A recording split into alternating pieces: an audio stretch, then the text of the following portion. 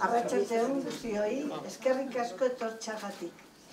Buenas tardes, amigas y amigos. Gracias por asistir a esta conferencia que organiza la Comisión de Álava de la Real Sociedad Vascongada Amigos del País. Hoy tenemos la suerte de contar con tres espléndidos profesionales.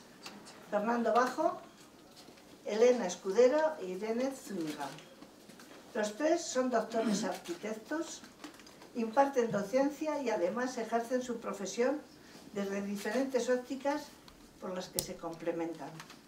Desde sus inicios, en el siglo XVIII, la Real Sociedad Vascongada abordó el tema de la arquitectura, en el apartado Discurso sobre la comodidad de las casas. Aquí, aquí, no, aquí. Que es un verdadero, eh, eh, se imprimió, yo lo he conocido y la mayoría lo hemos conocido a través del ensayo. El ensayo es un verdadero tratado que contiene la filosofía y los principios y valores de lo que es la Real Sociedad Vascongada. En realidad fue el discurso del Marqués de Montermoso, el que hizo un año, un año después, era primo del conde de Peña Florida, y este discurso lo hizo en el año 66 y en el 67 se publica, 68 se publica el ensayo. De nuevo, en, pleno siglo XX, la Vascongada ha tenido tres fases. Eh, renace eh, después de la, de la Guerra Civil Española y en ese renacer la sociedad vascongada tomó como uno de sus principales objetivos el cuidado y la defensa del patrimonio arquitectónico. Dicen en uno de los, eh, de los mm, programas que la defensa de la vieja torre medio destruida, la escultura mutilada, la iglesia restaurada con barbarie, la reforma urbana que amenaza monumentos de arte, ese debe ser nuestro objetivo, la defensa de, estas, de, estos, de este patrimonio. Con este espíritu, desde la Comisión de Álava, pretendemos dar voz a los especialistas sobre la mejor manera de adaptar nuestras ciudades, nuestras casas, a los nuevos retos del siglo XXI, conservando la belleza y la armonía que alcanzaron en épocas anteriores. Y sobre todo, respondiendo a las necesidades del futuro. No en vano, el 60% de los habitantes vivirán en ciudades según las Naciones Unidas, en seis años.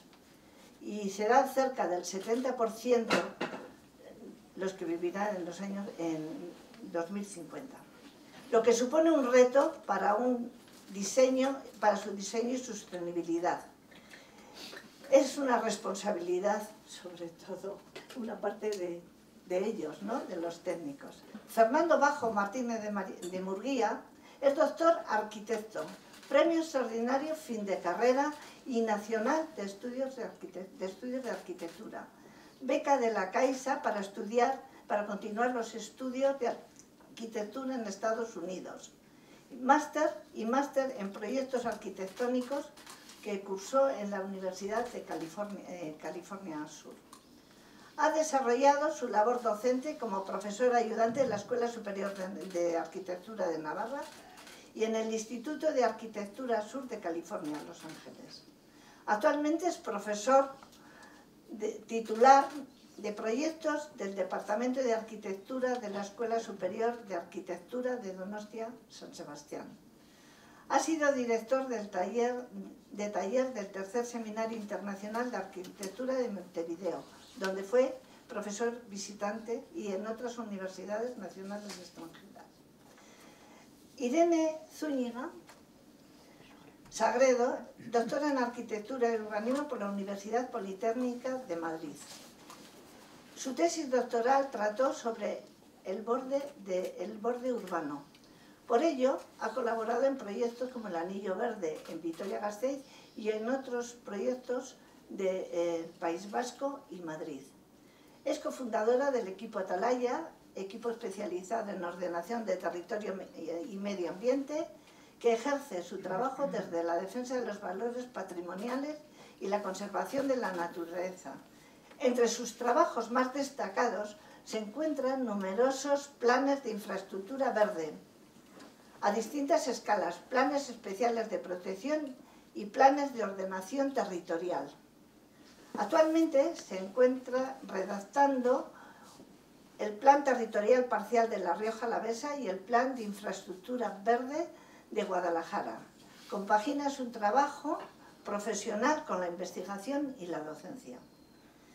Elena Escudero López es doctora en arquitectura de ETSAM, donde obtuvo la calificación sobresaliente cum laude en la tesis Seguridad y Diseño Urbano en los nuevos crecimientos de Madrid. Es profesora en la Universidad Rey Juan Carlos. Ha ejercido la práctica profesional desde, desde 2001 y ha recibido premios por su práctica arquitectónica de carácter nacional e internacional, participando en proyectos de investigación. Es autora de diversos artículos y publicaciones científicas. En la actualidad es investigadora responsable del grupo de investigación PENSA. PENTA. Bueno, tenemos, es, es, la verdad, es un, un, orgullo para la Vascongada ser capaces de reunir estas personas tan cualificadas enfrentarse al reto tan difícil que el cambio climático, las aglomeraciones en las ciudades, pues verdaderamente va a depender en gran parte la solución en ellos. Bueno, gracias.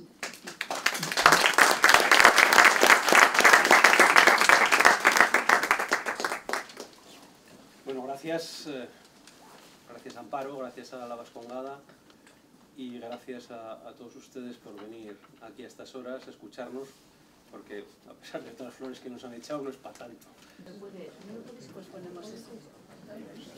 Era una vuelta del agradecimiento ¿no?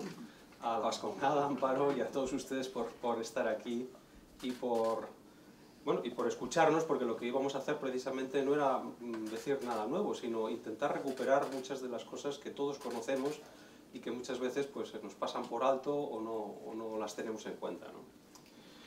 Eh, al margen de los agradecimientos, eh, a mí me gustaría hacer una pequeña introducción, primero sobre la pertinencia del tema. ¿no? El, tema el, tema el tema es la ciudad, y lo ha sido siempre. ¿no? Pero curiosamente, en esta ciudad en la que no suele haber tantas conferencias, en dos semanas hemos tenido hasta tres. sobre la ciudad, la ciudad que viene, la ciudad del futuro, la ciudad que era, la ciudad que va a ser, ¿no? O sea que parece que hay cierto interés, al menos en este asunto. Y por eso precisamente la hemos intentado enfocar desde un punto de vista, vamos a decir, más conservador o más mirando hacia atrás o hacia, hacia lo que somos y menos hacia lo que nos dicen que vamos a ser, que todavía no estamos muy seguros de ello. Por eso, eh, bueno, pues eh, va a ser una cosa un poco alternativa al respecto. A mí me gustaría eh, decir que la ciudad, en realidad, y es una opinión personal, es el mayor invento de la humanidad a lo largo de toda la historia. Y eso me gustaría repetirlo, el mayor invento de la humanidad a lo largo de la historia. Y resulta además que no es un invento, vamos a decir, solo tecnológico, ¿no? La rueda, la pólvora, el, el motor a reacción, el ordenador cuántico que nos viene... O sea, no es un invento de laboratorio, curiosamente, ¿no? que estamos todos fascinados con la palabra laboratorio, con todo lo que sale de los laboratorios, resulta que el mayor invento de la humanidad de toda la historia no ha salido de un laboratorio. Y eso sería importante recalcarlo. ¿no?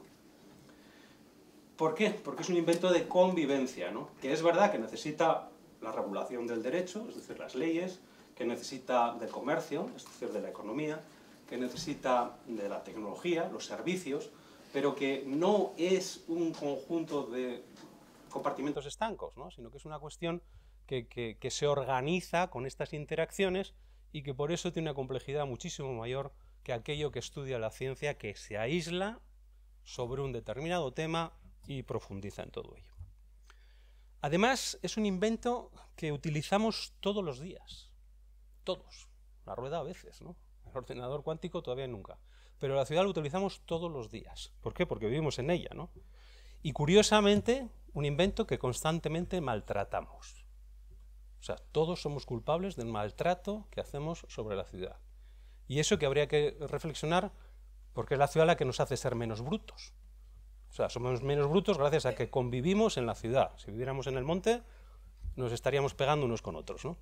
Precisamente es la ciudad lo que ablanda un poco a las bestias que todos llevamos dentro. ¿no? Y sin embargo, no le devolvemos ese gran o ese gran regalo que nos hace.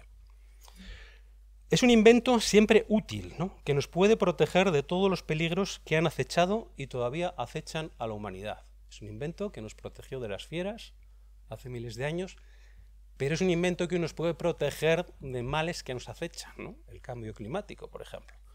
Si podemos protegernos respecto de esta nueva realidad que estamos ya sufriendo, en octubre ya vamos en mangas de camisa en Vitoria, quien lo hubiera dicho, ¿no? pues solo la ciudad nos puede proteger respecto a eso. Es el lugar más seguro para protegernos de eso. Y por último, es un invento que, lejos de excluir, es capaz de lograr inclusión y catalizarla hacia mejoras necesarias para todos. No solo estoy hablando de personas, de inclusión, estoy hablando también de naturaleza, por ejemplo. La ciudad puede incluir la naturaleza, siempre le hemos intentado quitar, ¿no? tanto animales como elementos naturales que parecían perniciosos. Hoy nos estamos dando cuenta que tanto muchos animales como muchos elementos naturales son fundamentales para nuestra vida. Luego, realmente es el mayor invento de la humanidad a lo largo de la historia. Respecto de la pertinencia, no ya del tema, que, creo que está claro, sino del título, recuperando la ciudad del pasado para construir el futuro. Bueno, es, interesante porque cuando miramos las ciudades y detectamos sus defectos, siempre pensamos en lo que ya conocíamos, en eso que se llama el precedente. ¿no? no es cierto que los tiempos pasados fueran mejores, no lo han sido nunca, ¿no? pero sí es cierto que los tiempos pasados tenían cosas buenas que a veces es interesante recuperar, y en eso estamos. ¿no? Porque cuando analizamos nuestras ciudades echamos cosas de menos, en nuestro entorno particular, Pensemos en Vitoria, pero en otras ciudades también, y eso es así. ¿no? Y muchas veces no hay que inventar, sino lo que hay que hacer es recuperar. Por eso la pertinencia al título es fundamental, ¿no? recuperar la ciudad del pasado para construir el futuro, no para recrearla, ¿no? sino para transformarla e ir más adelante. ¿no? Bueno, con, estas premisas eh, hemos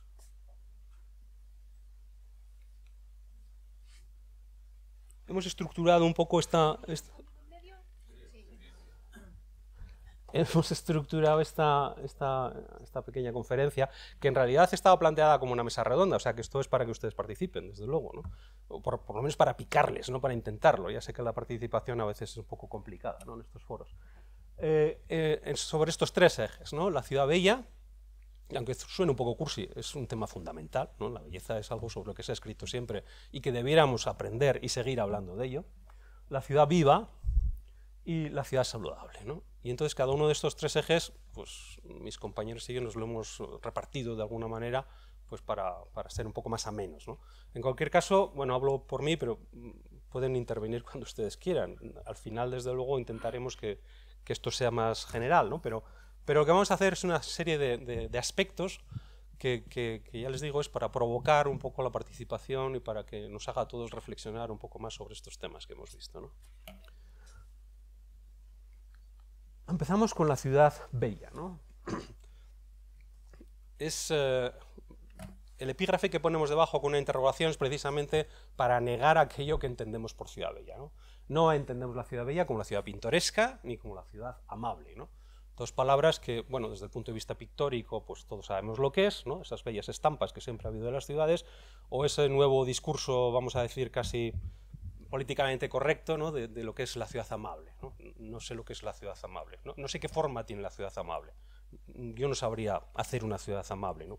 creo que nadie lo sabe hacer, ¿no? pero es una cosa como que queda bien. ¿no? Preferimos hablar de ciudad bella. ¿no?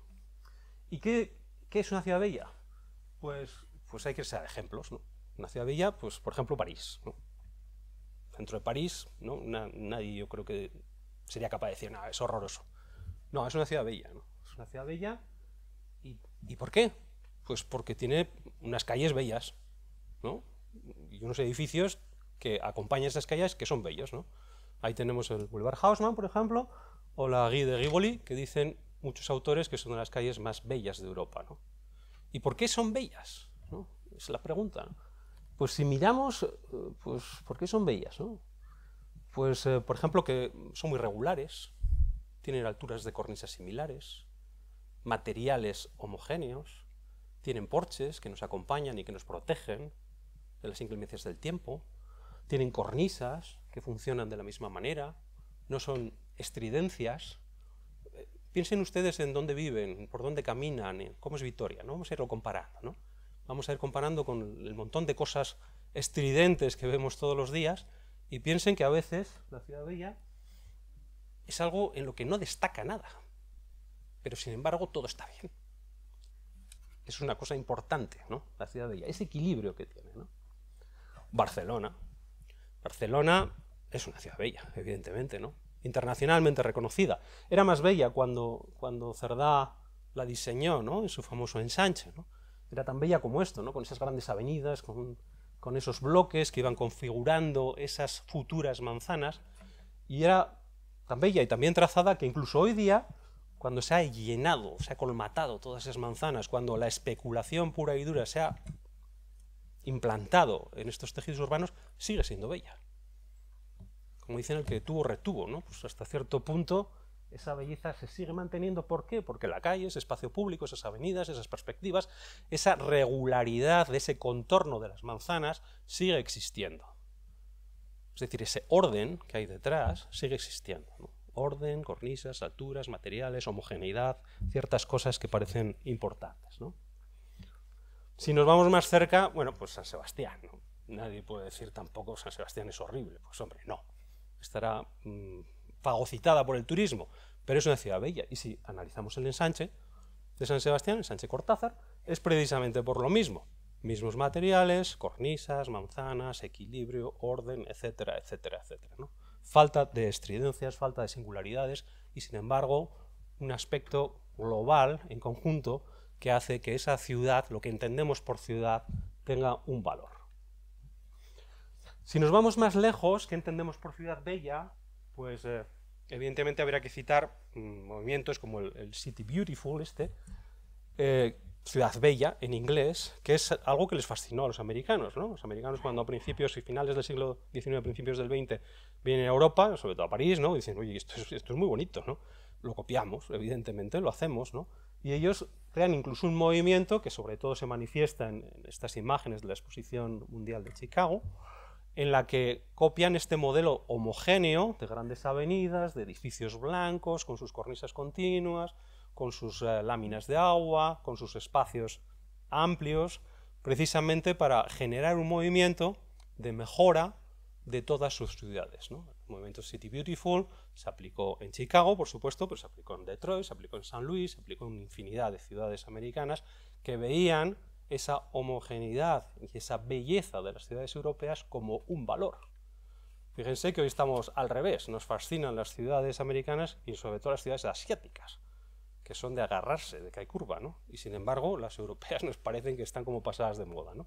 Cuando ellos, más de 100 años atrás, pues ya se fijaban en las nuestras, porque les parecían mucho mejores, ¿no? Y lo siguen reconociendo, Eso dio, como veis, lugares, bueno, dio lugar a proyectos muy interesantes, pues como el propio plan de Chicago, que si lo han visitado es la ciudad más europea y una de las más bellas americanas. Probablemente la única que se puede llamar ciudad, por lo demás no son ciudades, son conurbaciones o grupos de casas o autopistas con casas. ¿no? Pero ¿qué no es la ciudad bella? Pues precisamente lo que estamos asistiendo hoy día, ¿no? Eh, la ciudad en el parque, a la derecha. La ciudad en el parque es un invento del movimiento moderno.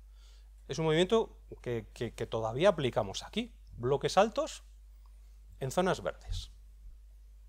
La ciudad en el parque. Decía Colin Rowe, que era un teórico inglés eh, muy malvado, como todos los ingleses, que la ciudad en el parque, City in the Park, se ha convertido en la ciudad en el parking, City in the Parking. Y tenía toda la razón, porque todos esos bloques están rodeados de coches. Porque como son bloques que están distanciados del centro de la ciudad, todos tienen coche, todos aparcan alrededor, y aquello que era un parque precioso que rodeaba a un bloque urbano, resulta que es un parking que rodea al bloque urbano. Esa es la ciudad en el parque, que la, se ha exportado a Asia, ¿no? Y esos son bloques de estos de, China o de Asia que son realmente invivibles, ¿no? Eso es un infierno, eso no es una ciudad, en absoluto. Y si miramos un poco más cerca, al Oriente Próximo, vemos pues las ciudades estas del desierto, ¿no? Que nos eh, hacen bueno, partícipes, ¿no? Cada vez que abrimos el periódico o encendemos la tele, ¿no? Van a hacer una nueva ciudad en cualquiera de estos emiratos en el desierto, ¿no? Y es una especie de zoológico, ¿no? Donde cada edificio es de su padre y de su madre, todos tienen formas rarísimas, y al final es un erial donde hace un calor de muerte, donde hay que estar dentro del edificio porque si sales te achicharras, y donde fuera no hay nada y todo está dentro. Esa calle que hemos visto antes es la que ha desaparecido, no existe. Solo existe el objeto arquitectónico que nada tiene que ver con nada y que crea esos, esos paisajes tan, bueno, tan, tan, tan desastrosos, diría yo. ¿no? Así que, en, realidad, ¿qué, podría ser la ciudad bella? ¿no? Pues yo diría que podríamos entender como ciudad bella aquella que demuestra una conciencia urbana, conciencia urbana, que es algo que, hemos perdido realmente. ¿no? ¿Y la conciencia urbana qué es? Pues eso, trazados urbanísticos ordenados y hasta cierto punto elegantes, diríamos, edificios bellos y de calidad, pero regulares, bien distribuidos, bien compuestos, con materiales nobles y con un buen envejecimiento, que es lo que hoy no hacemos. Los arquitectos de hoy no hacemos edificios que envejezcan bien, y eso es un grandísimo error, pero que cometemos constantemente. ¿no? Así que la pregunta sería eso, ¿qué, es lo que nos ha fallado? Esa pregunta la dejo para, para después, para que participemos todos. ¿no? pero como ven la ciudad bella mm, tampoco tiene mucho misterio, ¿no? Y sin embargo es un precedente que nosotros hemos tenido en Europa, por lo menos en el sur de Europa clarísimamente, ¿no? Bueno, creo que es la última, ¿no? De la ciudad bella. Ciudad viva. Vale. Eh, bueno, eh, Fernando ha, dado los agradecimientos de parte de todos, pero bueno, quiero eh, volver a, dar las gracias a Amparo y a la Vascongada por invitarme, por invitarnos. Y yo voy a hablar de la ciudad viva. Em, eh, creo que vamos a hablar de tres temas que individualmente son muy fáciles de defender, pero que em, eh, creo que la magia está en ponerlos juntos y, que precisamente es lo, que tiene dificultad, eh, que individualmente creo que tenemos las claves para llevarlos a cabo, pero hay que, em, hay que compaginar eh, las cosas para que al final funcionen. Y en eso estamos en la ciudad actual, yo creo, porque los sistemas que hemos eh, desarrollado hasta ahora no han terminado de funcionar perfectamente. Eh, o por lo menos para resolver los problemas que tenemos ahora en cuanto a sostenibilidad, en cuanto a complejidad y en cuanto a la belleza que decía Fernando antes. Entonces yo he traído una imagen que pongo siempre como primera imagen en mis clases de urbanismo. Y es que em, yo les pido a mis alumnos que imaginen el tipo de, personas que viven en estos, en estos entornos urbanos. Ah, perdón. Eh, sí, sí, perdón. Eh, yo les pido a mis alumnos, ahora se me oye bien, sí. Les pido a mis alumnos que imaginen el tipo de personas que viven en estos dos entornos urbanos. Eh, entonces yo les pido que imaginen el habitante de la izquierda, y, el habitante de la derecha. ¿no? En los habitantes de la izquierda eh, casi todos coinciden en describirme em, lo que imaginan, que es una familia eh, con un tipo eh, de, economía bastante uniforme, con unas edades uniformes, con unos desplazamientos al resto de usos de la ciudad también bastante uniformes. También están de acuerdo en que tienen que desplazarse a otra parte de la ciudad para seguir eh, realizando las actividades de la ciudad, que para eso tienen que usar el transporte privado, no, no casi nunca público, o que el público es, más, es, menos utilizado. Y en cambio en la imagen de la derecha no saben decirme, porque engloba todo, ¿no? Eh, puede lo mismo haber una persona muy joven, que niños, que personas mayores, em, que se combinan, que a la, vez pueden trabajar, hacer eh, actividades de ocio, eh, vivir, que probablemente se desplazan en transporte público o andando, caminando, porque lo tienen todo muy cerca. Y entonces, es verdad que, yo no sé si esto tiene puntero, bueno, es verdad que lo que muchos imaginamos o que soñaríamos tener o que querríamos tener, voy a poner un plural, es la, imagen de la izquierda y muchos otros soñaríamos la imagen de la derecha, sobre todo si reflexionamos en las, implicaciones en cuanto a planetarias ¿no? que tiene eh, una imagen y la otra. Eh, partiendo de ahí, es verdad que la ciudad, esta que estábamos viendo antes, eh, en la que se producen muchas actividades, tiene también muchas posibilidades de actuar en ella. La, la, de la izquierda, además de que el consumo de territorio que tenemos y que produce una ciudad dispersa, que va consumiendo territorio y que no se puede luego volver para atrás. O sea, una vez que hemos urbanizado una, parte del territorio, es muy difícil que, tome otra inercia distinta, mientras que si estamos en la imagen de la derecha, eh, ya estamos haciendo una ciudad compleja y una ciudad en la que se pueden realizar todas esas actividades con menos consumo de suelo y en la que, ahora hablará luego Irene después en su parte, ¿no? en la que también se puede introducir esa naturaleza, aunque no esté en una tipología tan dispersa como la imagen de la izquierda. Bueno, pues Em, también se trata de que en esa ciudad eh, podamos imaginar distintas situaciones en esos espacios públicos que queremos todos que sean más vividos. ¿no? Em, creo que estamos en, en, un momento en el que las ciudades se han desarrollado para el coche, eh, para el transporte em, privado y que ocupan mucho suelo, ocupan mucho suelo con los aparcamientos, ocupan mucho suelo con los desplazamientos y ya hay muchas ciudades que sí que se dedican a, a través de eh, actividades de, urbanismo táctico, de recuperar ese espacio, eh, partiendo de, lo que, de, la participación y de pedir cómo se pueden usar esos espacios de otra forma. ¿no?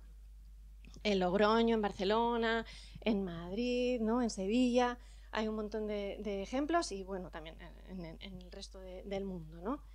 Em, pero está claro que queremos una ciudad en la que el espacio público esté habitado, en la que nos podamos encontrar con los demás. ¿no? Yo, eh, Amparo ha dicho que hice la tesis sobre seguridad y diseño urbano, pero Jane Jacobs ya eh, decía en los años 60 eh, que, la ciudad es mucho más segura si, si, si tenemos vigilancia de unos sobre los otros. O sea, en el momento en el que el control social se establece, las condiciones de seguridad o las sensaciones de seguridad aumentan. Em, es verdad que vivimos en una sociedad en la que se puede uno permitir que esa seguridad sea privada. Pues sí, pero otra vez volvemos a lo mismo que a nivel planetario o incluso eh, social em, estaría mejor que estuviese regulado eh, de alguna manera autónoma. Esto lo conseguimos teniendo actividad en la calle pero cada vez estamos aislando más esas actividades, cada vez las estamos separando más. El comercio se hace en el centro comercial, eh, la residencia en barrios residenciales, y entonces cada vez tenemos menos necesidad de salir a la calle a realizar actividades de socialización y ya no digamos más con el teléfono, internet, yo ya me conecto con la gente que no necesito salir a la calle, ¿no? Entonces parece que no es necesario, pero es que si no salimos a la calle y esa calle es segura, no la vamos a querer utilizar y si no la queremos utilizar, pues no tendremos eh, la ciudad que nos gusta. O sea que al final es una pescadilla que se muerde la cola, porque si no eh, utilizamos la calle, ¿no? No podremos. Te quería interrumpir, perdona Elena, porque yo creo que aquí eh, hay dos momentos en el que podemos pensar en esa ciudad bella que nos ha retratado Fernando, esos edificios homogéneos, esa calle de París. Imaginémonosla vacía, sin vida, sin locales comerciales, sin gente en la calle.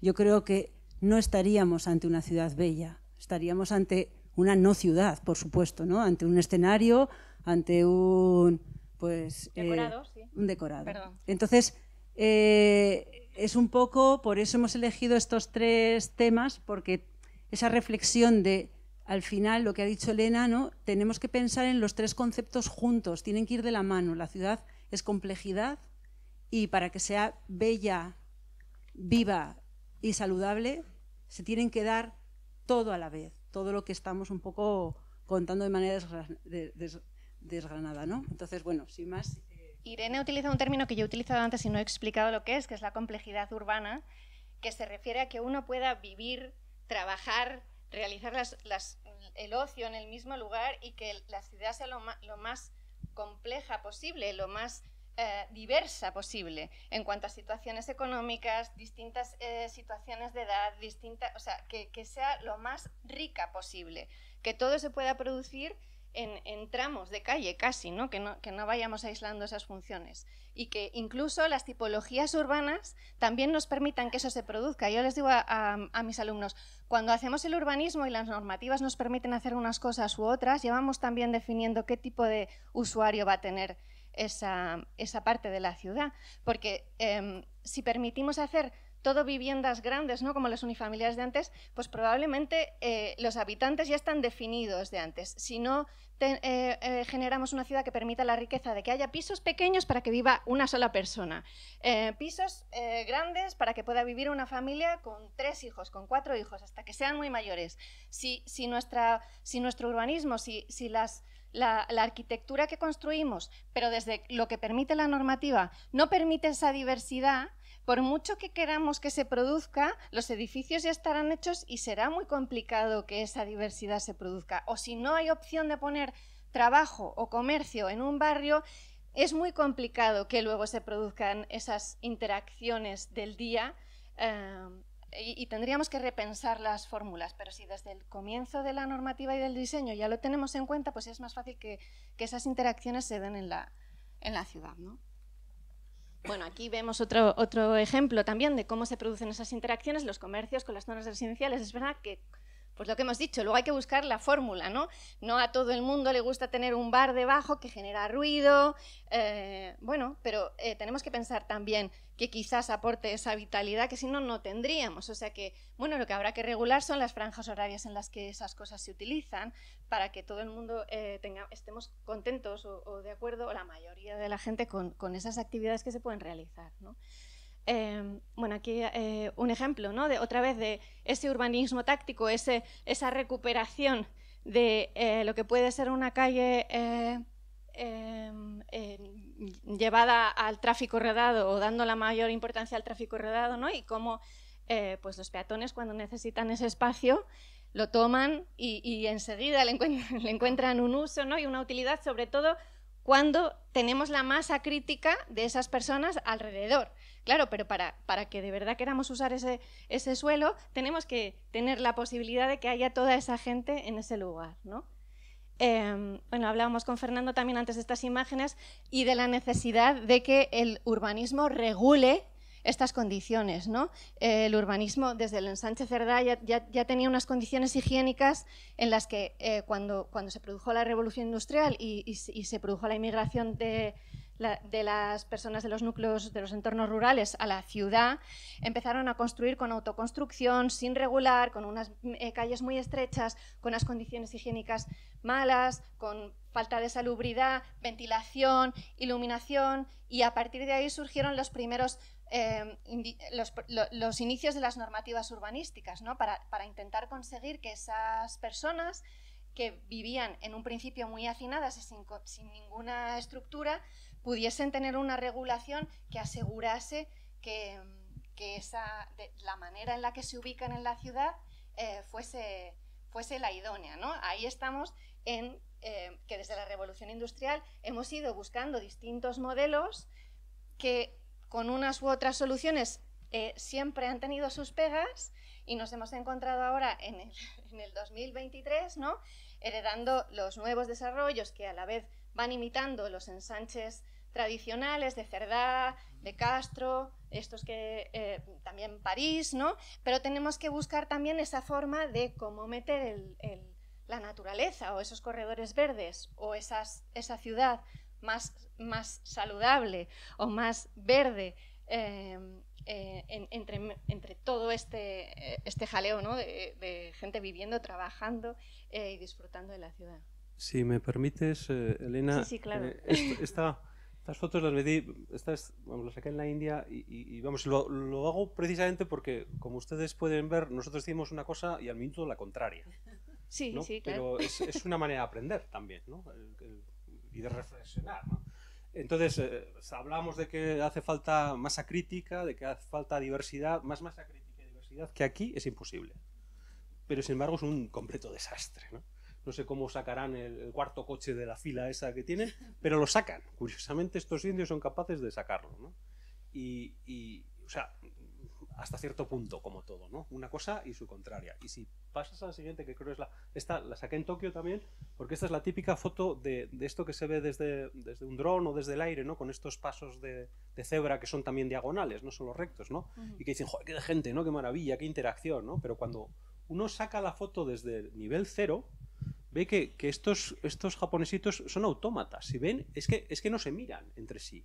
Van como con orejeras, van como entonces se cruzan, pero, pero ni se miran, ¿no? Y hay, hay gente, hay masa crítica, ¿no? Hay, hay, una economía brutal detrás, ¿no? Pero no hay una mirada cómplice, no hay un saludo, no hay una interacción en absoluto, ¿no? Luego, esto que decimos de, de la complejidad, ¿no?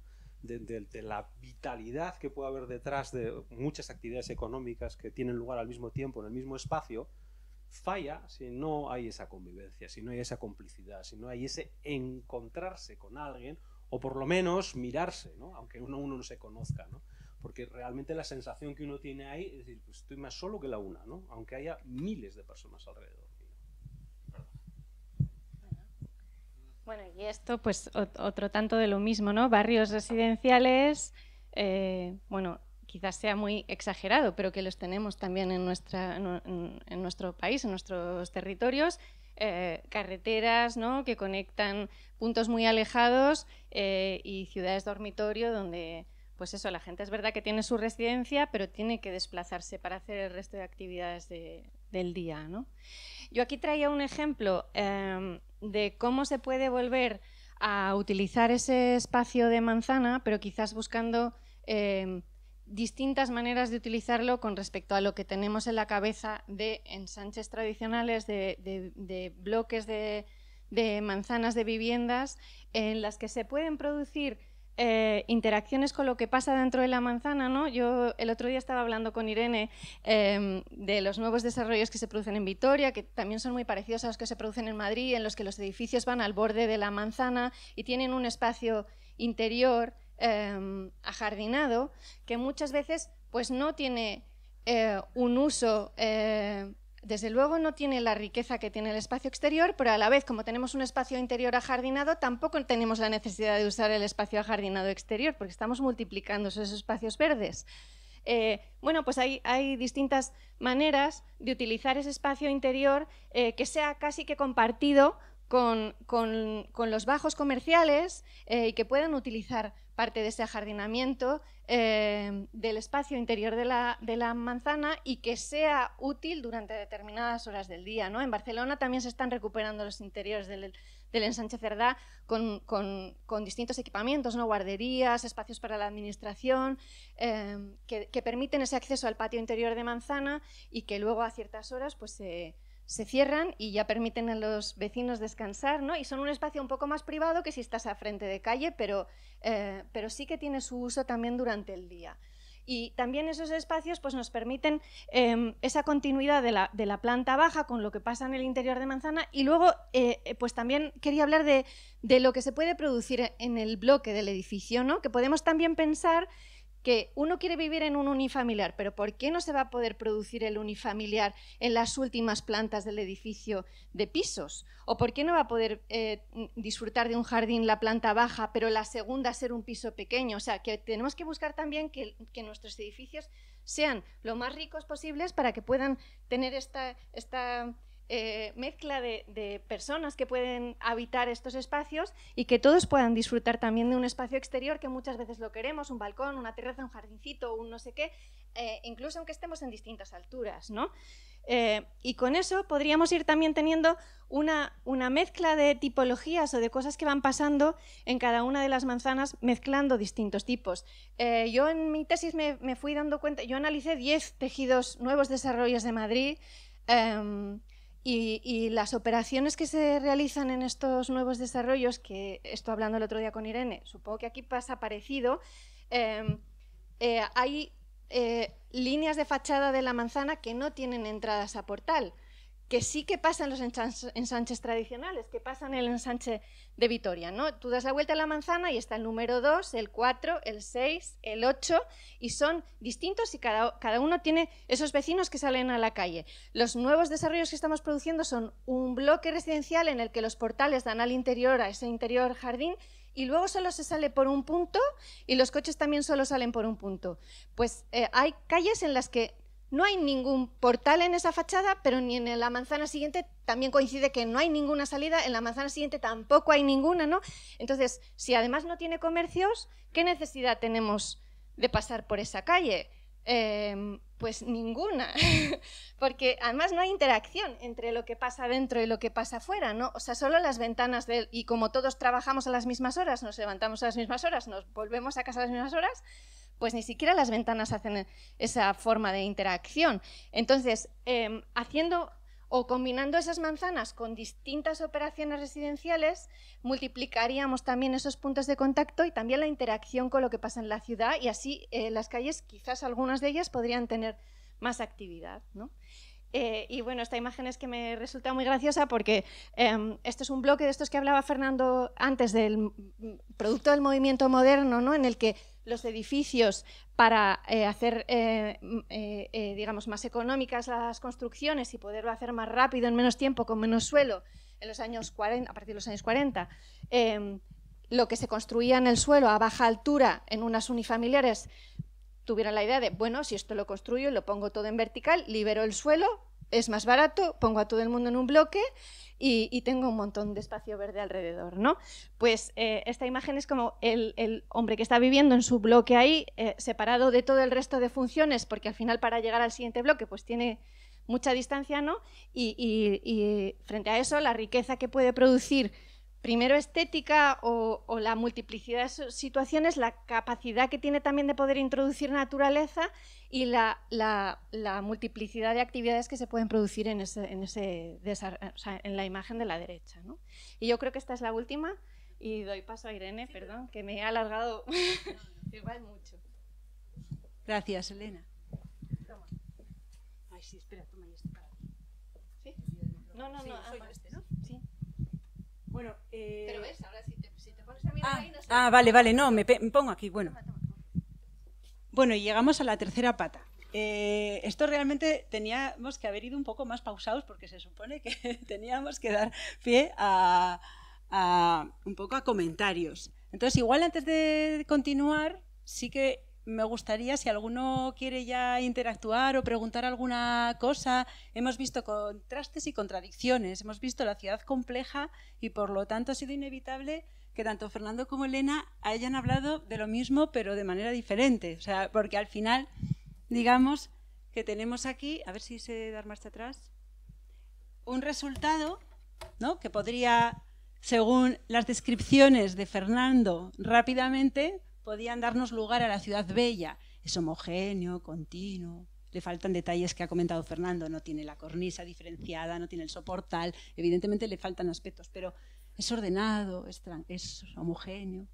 Frente a lo que Elena ha acabado contándonos. Cuanto más compleja sea esa manzana, cuantas más cosas ocurran a nivel arquitectónico, más posibilidades tendremos de alojar diversidad, diferentes gente, gente trabajando, gente viviendo, diferentes tipos de familia, locales comerciales y por lo tanto tenemos una ciudad ya que no es homogénea. Entonces, eh, esto realmente pues, es un, bonito debate. Por otro lado, nuestro ensanche del siglo XIX eh, tiene dentro de esa homogeneidad que le confiere el urbanismo por las proporciones, la escala, la proporción de la calle, la... sin embargo tiene esa diversidad y esa riqueza, ¿no? que de alguna manera nos está Elena enseñando en esa diapositiva. Eh, es muy difícil eh, medir qué parámetros ¿no? pueden funcionar por lo que decíamos antes, por la complejidad y porque hay que tener muchísimas cosas en cuenta cuando se piensa una ciudad. Eh, pero tenemos ahí nuestras, nuestra ciudad y también ahora es un poco reivindicar y volver un poco al título. Ya no vamos a tener tanta oportunidad de hacer ciudades. O sea, ahora tenemos que hacer que nuestras propias ciudades sean más habitables, más saludables. ¿no? Cómo reconvertir nuestro ensanche, nuestros nuevos barrios, incluso nuestros barrios del producto del movimiento moderno, que tenemos muchos también, bloques rodeados de aparcamientos, eh, que en su día se pensaron como bloques rodeados de jardines. Eh, entonces, ¿cómo reconvertirlos ¿no? en una ciudad bella, en una ciudad viva, vital, viva y eh, la parte que me toca para terminar un poco, pues la ciudad saludable. Eh, todas estas ciudades, todo esto que hemos hablado, y con el paso del tiempo y, por el momento en el que nos encontramos, es una ciudad que, ya sea bella o vital, ha perdido una cosa muy importante. Se ha desacoplado de su territorio. Digamos que se ha olvidado en el sitio donde se encuentra. O sea, ya las funciones que acometemos, que son vitales para nosotros, que forman parte de nuestra supervivencia, pues el alimentarnos, el beber agua, el deshacernos de nuestros desechos, son funciones que siempre nos las ha dado la ciudad. Nosotros vivimos en la ciudad y ya está, y ya voy al supermercado, yo tengo, abro el grifo, siempre nos lo ha dado la ciudad. Y no digamos la basura. Pero la ciudad siempre ha dependido de su territorio, de nuestra naturaleza, de nuestro espacio vital, que está más allá de la ciudad, ha dependido de ese territorio para hacer todas esas funciones. Y ahora, pues ya hemos visto algunos problemas que han surgido. Y, es verdad, y estoy de acuerdo con Fernando, o sea, la ciudad es nuestro gran invento, o sea, no cabe duda. Llevamos inventándola, reinventándola, mejorándola, empeorándola, eh, pero ahora tenemos un nuevo gran reto, que es acoplarnos otra vez con ese territorio. Y para eso necesitamos también visualizar otro tipo de belleza, visualizar otro tipo de vitalidad y no sé, ponernos de acuerdo para empezar a mirarla de otra manera. Eso es un poco lo que os quería yo contar con esta última pata, ¿no? La ciudad saludable, la ciudad y la naturaleza, la ciudad y su territorio, ¿cómo volvemos la mirada? Esta es una imagen muy bonita que eligió Fernando, ¿no? Del barrio de Fuencarral de Madrid. Estos son ese bloque que hemos visto de viviendas homogéneo, pero con una riqueza tremenda desde el punto de vista de la naturaleza. Porque, sin más, sus habitantes eh, tienen, lo han llenado de macetas. Han dejado que la vegetación les invada. Si yo nos estuviera diciendo dónde es esta imagen, podríamos estar pensando, es una ciudad abandonada. Aquí hubo una guerra, se abandonó. Imágenes de Chernóbil, podríamos incluso pensar, ¿no? Se abandonó la película de Stalker. Se abandonó y la vegetación, la naturaleza tuvo la oportunidad de recuperar su espacio. ¿no? Y sin embargo no es así. Es, estamos, si nos acercamos, vemos que están las macetas cuidadas de alguna manera y que hay alguien que ha entendido que en esta imagen vive mejor.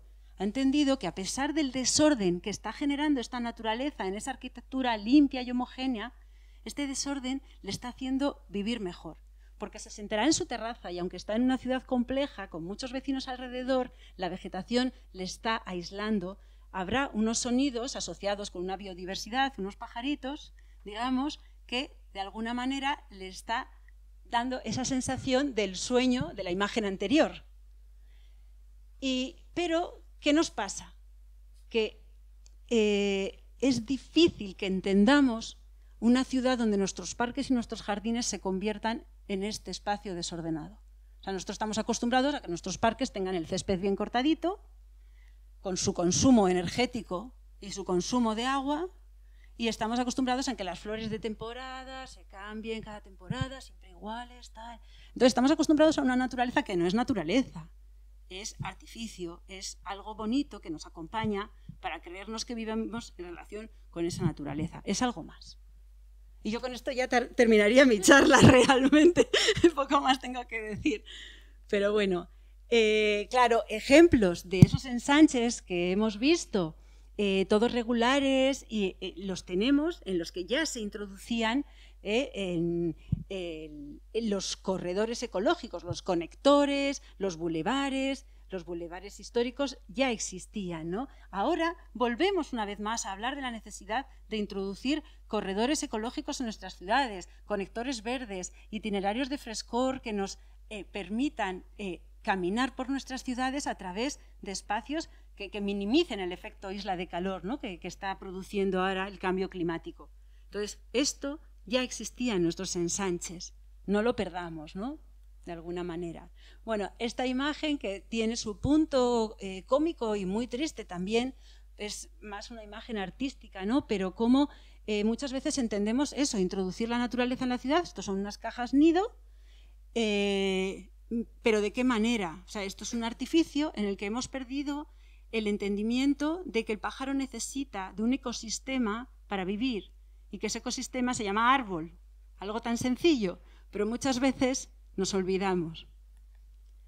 Eh, una vez más, en los ensanches, eh, en las manzanas tradicionales que se han ido colmatando. Pues tenemos un ejemplo muy bonito en Madrid. Eh, está, muchos de vosotros, si habéis estado en Madrid, habéis pasado por esta preciosidad, pero seguro que no os habéis dado cuenta. Está en Argüelles.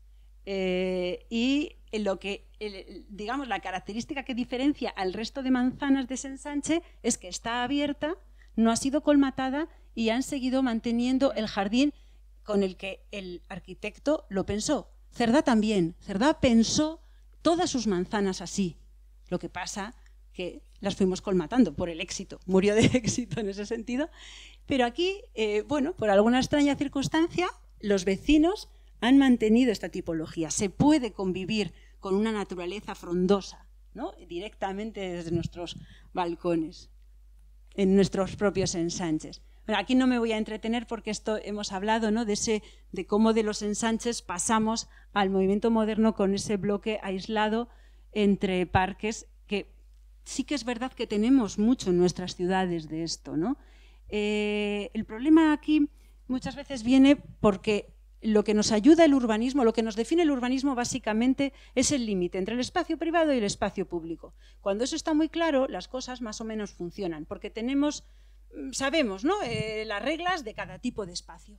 Cuando vino el movimiento moderno, cuando se introdujo en nuestras ciudades los bloques eh, aislados entre verde, eh, empezó a haber un conflicto porque no se entendía bien ese verde a quién le pertenecía mantener.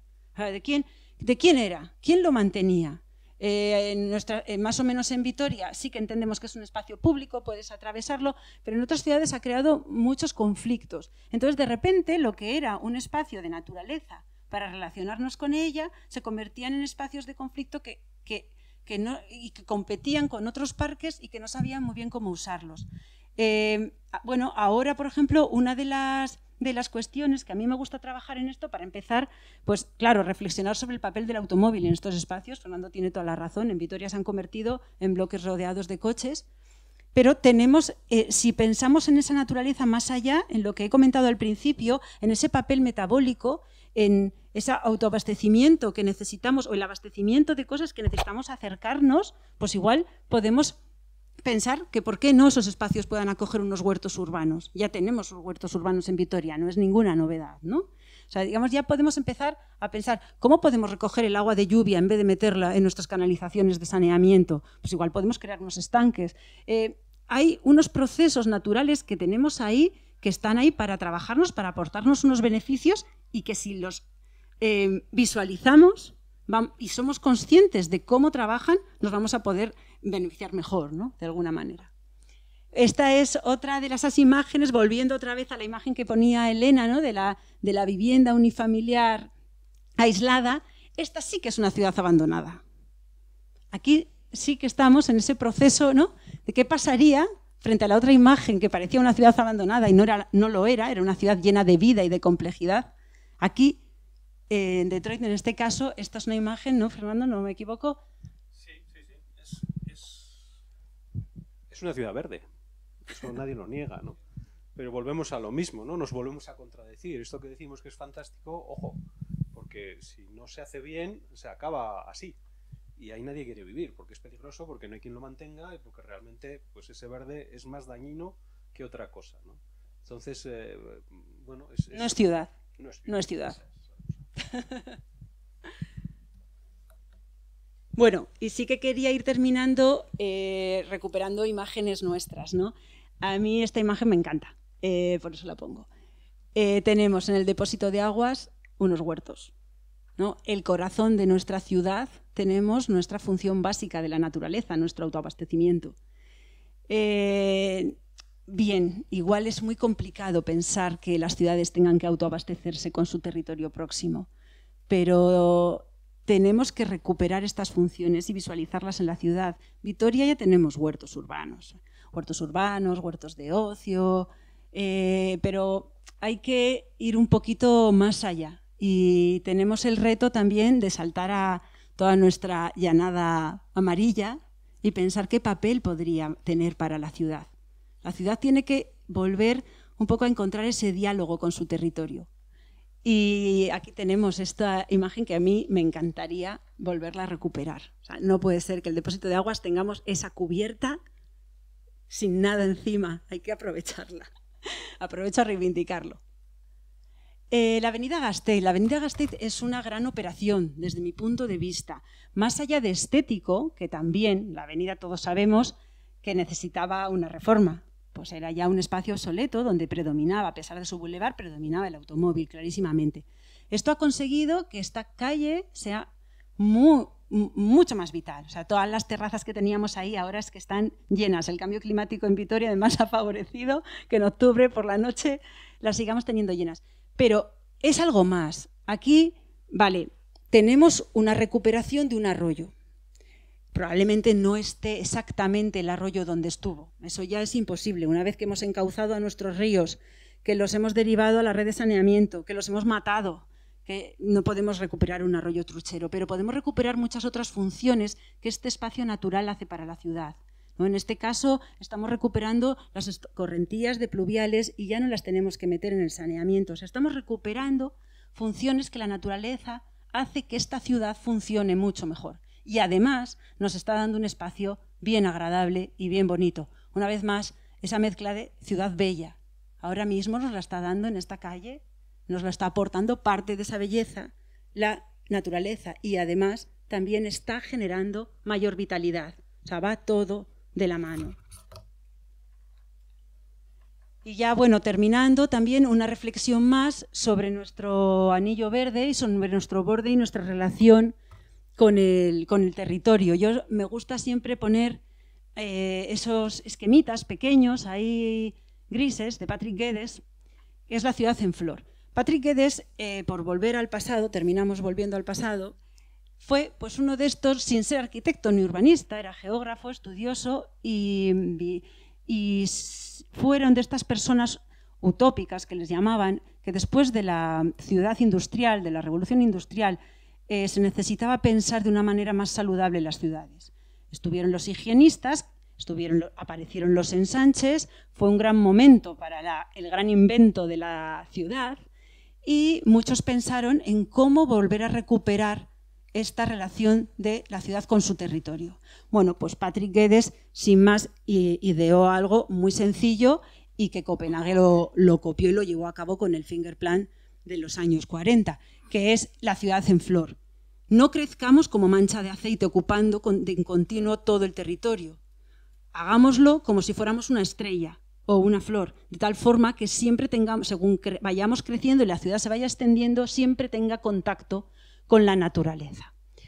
Vitoria tiene todavía esa oportunidad, eh, a pesar de tener un anillo verde, que parece que es un poco todo lo contrario, ¿no? Un anillo es como algo que no es en estrella pero sin embargo tenemos un sur muy poderoso en nuestra relación con el territorio, que nos permite tener esa continuidad directa, que permite que esos ríos que hasta ahora fueron entubados y metidos en la red de saneamiento, pues que los tratemos con, otro, con, otra mirada y ya estamos trabajando en ello. Entonces, bueno, venía un poquito a hablar de, de la importancia ¿no? y cómo Vitoria ha trabajado mucho en esta reacoplamiento, digamos, ciudad-territorio, en esta mirada, en esta relación, pero no lo perdamos de vista y seguimos avanzando en ello. Y ya para terminar, pues ya que ha empezado Fernando, igual te doy el micrófono. Gracias. Bueno, eh, como les he dicho antes, eh, aquí también se trataba de, tener un poco de espíritu crítico, ¿no? Y de que ustedes mismos opinen, ¿no? Son tres fotos de Vitoria tres calles fácilmente reconocibles de Vitoria. Tres calles curiosamente paralelas y tres calles que han supuesto una frontera, cada una en su momento, en esta ciudad. Y tres calles eh, pues que han perdido su belleza, que han perdido su vitalidad y que la verdad no sé si son muy saludables. Eh, bueno, ya se lo dejo a ustedes, ¿no? Si el urbanismo de la calle Olaguibel acaba siendo eso, que es una foto muy divertida por la que somos famosos en una página web que si quieren mirar es famosísima y estupenda, Nación Rotonda, donde se ven todas las barbaridades que se van haciendo a lo largo y ancho de este país, y una de ellas es esta, ¿no? esa, esa maraña de pinturas donde ahí hay una persona, no sé si la ven, pero que, que, está intentando pasar, está justo en la junta, pero no pasa ni por el paso peatones porque es que ni lo ve. ¿no? Eso es la calle de la. Eso es la calle de la con el antiguo resbaladero. Yo creo que todos ustedes lo conocen, vamos. Los antiguos juzgados están ahí y ya está. O sea, el caos de pinturas que hay ahí, desde luego el que lo entienda, que me lo explique. La otra, desde luego, es General Álava. General Álava perdió toda su vida. General Álava se ha vaciado, se ha llenado de autobuses y de tranvías. Pero de gente, es la pregunta, ¿no? Perdón, la calle General Álava. Y la otra, pues la calle Álava, ¿no? La calle Sur, o sea... El Bey, el Bey. Pero, pero es curioso porque son tres calles que además son paralelas y que siempre han definido como una especie de frontera dentro de la ciudad, ¿no? Y que sistemáticamente nos hemos ido cargando, curiosamente. Bueno, alguien piensa que han ido mejorando, ¿no? Pero las fotos están hechas un poco a posta para, para decir lo contrario, ¿no? Por lo menos para crear cierta, pues eso, cierto, cierto comentario, ¿no? Al respecto, ¿no? Pero bueno, son tres imágenes reales de nuestra propia ciudad en la que vemos, y nos podemos preguntar si realmente pues queda algo de belleza, queda algo de vida o queda algo de salubridad, ¿no? De la que teníamos, ¿no? Y, y esta es nuestra aportación. Así que ahora es, es, es su turno.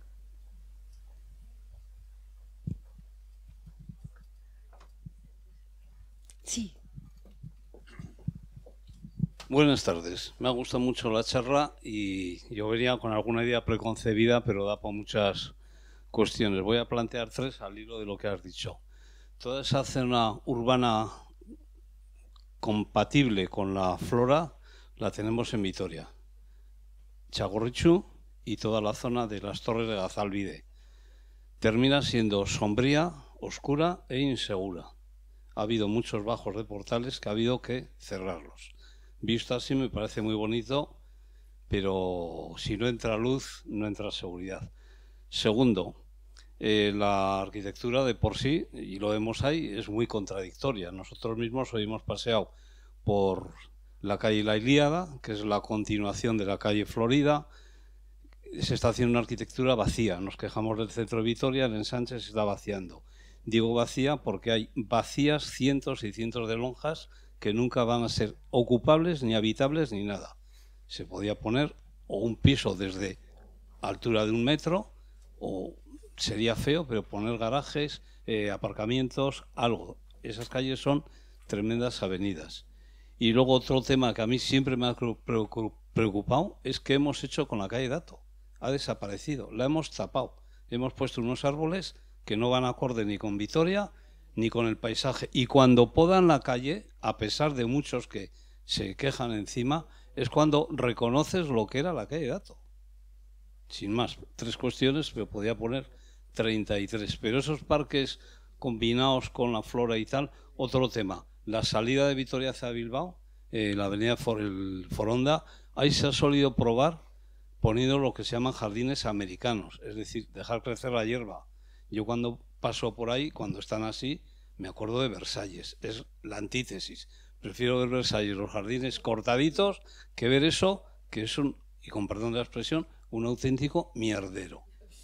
Porque toda la zona esta de la Archaina y demás, es que es una imagen de entrada de Vitoria pésima. O se pone un cartel al visitante, perdone usted que está viendo un jardín americano, a ver cuándo lo podamos, o es que eso va a ser tremendo. O sea, por eso digo que es muy contradictorio todo. ¿eh?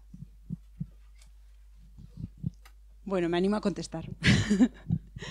me animo a contestar por la última, eh, y que no es poco complicada.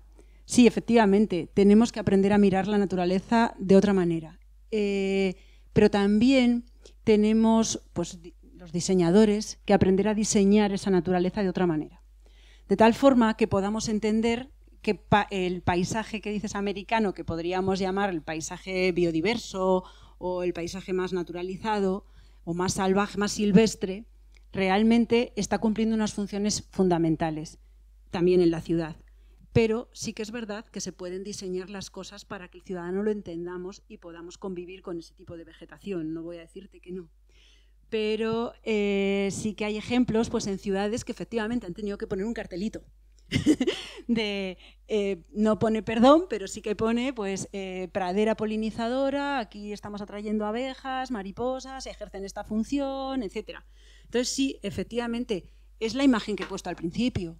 Esa sensación que muchas veces la naturaleza nos puede dar de desorden, de ciudad no bella, ¿no? frente al orden que nos da la arquitectura. Yo creo que es cierto, el ser humano nos encontramos más cómodos ante espacios ordenados. O sea, yo misma me acuerdo un viaje a Inglaterra donde tienes todas esas colinas perfectas, todas iguales, no hay ningún pico alto que desentone, todas cortaditas por las ovejas, y de repente notaba una paz, o sea, a mí me encanta ir al monte, pero de repente sí que sentía una paz diferente. Digo, pues es verdad, hay una armonía, hay un orden, hay, hay una previsión, ¿no? Hay algo previsible y entonces me encuentro bien. Eso es cierto y es verdad que es así. Eh, por eso también hemos inventado la ciudad. Y la ciudad realmente en un primer momento nos la inventamos para separarnos de la naturaleza, como bien ha dicho Fernando. ¿no? Pero creo que tenemos que aceptar otro tipo de naturaleza en nuestras ciudades porque necesitamos que trabaje para nosotros. necesitamos que vuelva, digamos, que volvamos a encontrar una sintonía eh, para que, digamos, beneficiarnos un poco de sus servicios, lo que llaman ahora los servicios ecosistémicos. Entonces, bueno, pues todo tiene que tener un lugar en la ciudad, estoy de acuerdo, ¿no? Pero a mí me gusta mucho la salida de Foronda y me alegro mucho que se esté trabajando en ese tipo de jardinería, porque imagínese el gasto que supondría, que supone cortar eso, con corta césped, con energía fósil y el riego que supone eso. Vale Vitoria, porque Vitoria hasta ahora llovía y más o menos ese coste lo podíamos asumir. Pero imagínense eso en Zaragoza, o en Lérida, en Madrid. ¿no? Entonces, también tenemos que acostumbrarnos a que a partir de ahora, con el cambio climático, la naturaleza no va a ser verde, va a ser amarilla. Y la clorofila va a ser algo que tendremos que ir a Finlandia a disfrutarla. Entonces, bueno, también yo creo que eso eh, eh, eh, como nuestro paisaje va a ir cambiando, también es algo que tenemos que ir haciéndonos a la idea, que antes agostaba en agosto y ahora agosta en mayo, junio, julio. Y ya con esto se me ha olvidado el resto de preguntas, me vas a perdonar. La calle Dato. La calle Dato, venga, Fernando. Bueno, yo, quiero decirle Ignacio también que es que las entradas de Vitoria en general son bastante feas. ¿eh? Y no es solo por la naturaleza. Es más bien por nuestra culpa, porque, vamos, la entrada tanto por Salburga como por Zabalgana, se las traen. Entonces, es cuestión de, que aquello es un desastre, de edificios, de bloques, de colores, pues el zoológico que hemos visto antes, ¿no? Entonces, quizá lo mejor que tiene son la naturaleza, aunque sea un poco salvaje. O sea, yo iría casi a la contraria, ¿no? menos mal que el verde a veces tapa la arquitectura. Pero no, pero no, no, no, Vitoria no tiene eso muy, la caída, totalmente de acuerdo. Si las magnolias grandifloras no pegan en este clima lo más mínimo. Es un árbol pues, perfecto, pero es tan perfecto que es soso. ¿no? Y que tapa todo realmente. Y que, y que además crece mucho. Y como está en un sitio tan protegido como la calle de se siente cómodo y son gigantes. Porque si ves los de José Arbina, donde tengo el estudio, son canijos y enanos. Porque pasan un frío de narices y ahí no se sienten a gusto. ¿no? Entonces, pues sí, probablemente no sea la elección correcta de la especie adecuada para ese lugar, ¿no? Pero vamos, yo sí que creo que la calle de datos se puede acompañar con una serie de árboles que igual podrían ser pues con copa menos grande o, con un crecimiento más limitado o otro tipo de, árboles que podían incluso magnificar el ritmo que tiene la datos en muchos tramos con sus arcos y su composición de fachada, etcétera, etcétera, ¿no? Entonces, bueno, tampoco le favorece nada el pavimento tienen, ni el mobiliario urbano. O sea, por eso te digo que al final la naturaleza casi es el, menos malo de los males que tiene. Hay, que hay cosas que, que son realmente terroríficas, ¿no? Y por no hablar después ya de las papeleras, las farolas, del semáforo, los volardos, el sinfín de cacharros que, que, que, yo no sé quién los pone y llena toda la ciudad, que es que te tropiezas constantemente con todo, ¿no? Entonces es, es una gincana de obstáculos que a mí personalmente me molestan más que, cualquier árbol, ¿no? Entonces yo creo que, va bien la línea de crítica, pero yo haría una jerarquía casi, ¿no? Es decir, ¿cuál es el, peor de nuestros enemigos? Y, yo creo que hay una lista gorda antes que la de los árboles. ¿eh? Sí, yo agradezco mucho esta última foto que, habéis situado porque estas tres fotos realmente son muy expresivas, muy, muy expresivas. Yo ayer mismo cruzaba entre los dos pasos de cebra y un coche paró mucho antes porque veía que yo no sabía ni dónde estaba. Ayer mismo me pasó, ¿no? Y, se le podría añadir las dos paralelas, la, eh, la calle Florida y la calle eh, Manuel Iradier, sí, soy yo, ya. porque realmente es que, no sé, no puedo callarme porque, porque tenemos que sufrir una ciudad que está así pensada. Eh, está muy bien restringir al coche para que haya lugares peatonales, pero de las cinco calles, estas tres más las dos que he mencionado, todas se han convertido en insufribles. Las que hemos restringido al coche y las que no. Porque claro, la calle Florida y la calle Manuel Iradier coches, coches, coches. También son insufribles. Y entonces algo estamos haciendo mal. Pero yo diría, a mí, cuando se habla de que Vitoria es una ciudad verde y hemos levantado todas las calles para construir un tranvía y un, y un bay, yo digo, pero ¿eso es sostenible?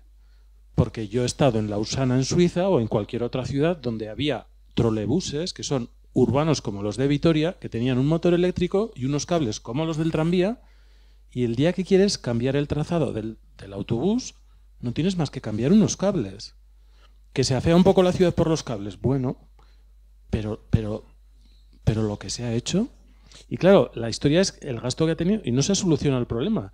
¿Por qué en la calle Florida y Manuel Iradier está lleno de coches? Porque la gente sigue necesitando el coche para ir a Jundiz, porque el tranvía no lleva Jundiz y el BEI tampoco. Y la gente donde trabaja es en Jundiz. Y, son cuestiones que, pero que nos va a tener que nos va a tocar sufrir muchísimos años. Muchísimos años porque la gente necesita el coche para ir a Jundiz, porque si va en autobús pierde una hora, ¿no? O pretender que vayamos en bicicleta a Gamarra, pues me parece muy bien, pero el que trabaja a las 8 de la mañana puede, pero el que trabaja a las 5 de la mañana o sale de trabajar a las 5 de la mañana necesita el coche en invierno, ¿no? Yo voy en bici a todos los lados, ¿eh? que conste, y el coche que me he comprado, pero, pero es que son cosas que vamos a tener que sufrir irremediablemente. Y, luego, además, el BEI tampoco conecta con donde se pretende soterrar el, tren, es decir, tampoco va a conectar con la parada de tren. Entonces, ¿qué sentido tiene que además la estación está en otro lugar? Bueno, lo siento, son cosas que tengo en la cabeza. Vienen a quitarme el micro. pero, pero es que no puedo menos de decirlas, porque sí, pensar, yo pienso en los cubanos, ¿no? que tienen unas carrocerías antiguas de coches y les cambian los motores. Si no pudiéramos haber hecho eso y haber metido un motor eléctrico en... Y, no lo sé, no lo sé. Es que quiero ser muy radical en la respuesta y no quiero que se me vaya, que si te dejo hablar, luego yo me se me olvido lo que quería responder tenemos que quitar los coches. Es que no nos queda otro remedio. Es que tenemos que quitarlos de nuestras ciudades. El coche tiene que ser la excepción. El coche tiene que ser la excepción para el que no puede ir en bici porque ha tenido un accidente, porque es una persona mayor, porque tiene que ir al médico o porque trabaja a las 5 de la mañana. Pero tiene que ser la excepción. O tenga otro medio. Pero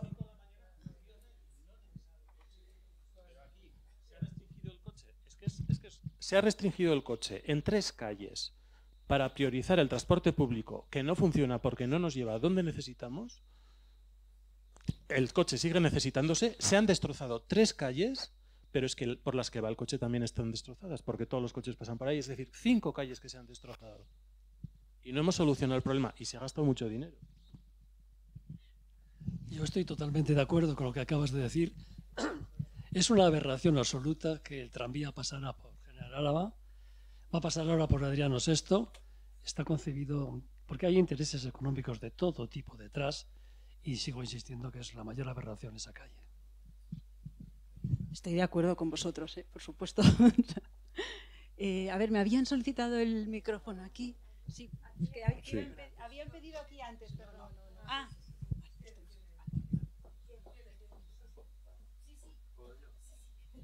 Yo, yo eh, buenas tardes. Yo voy a, no voy a fijar tanto en Vitoria como en, la generalidad del asunto.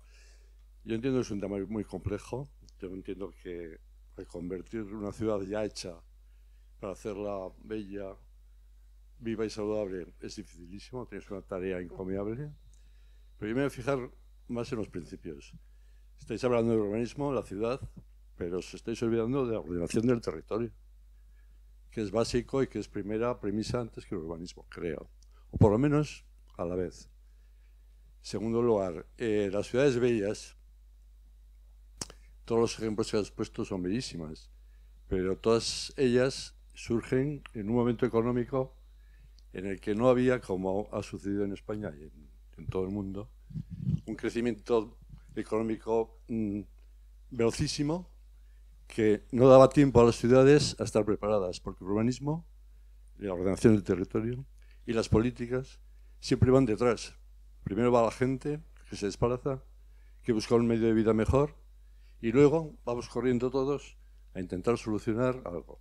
Tampoco se ha hablado de la especulación, del uso del suelo, de, las, eh, los arquitectos, yo sé porque en mi familia hay alguno, ha habido alguno, eh, que pretendéis hacerlo mejor, pero luego viene el contratista.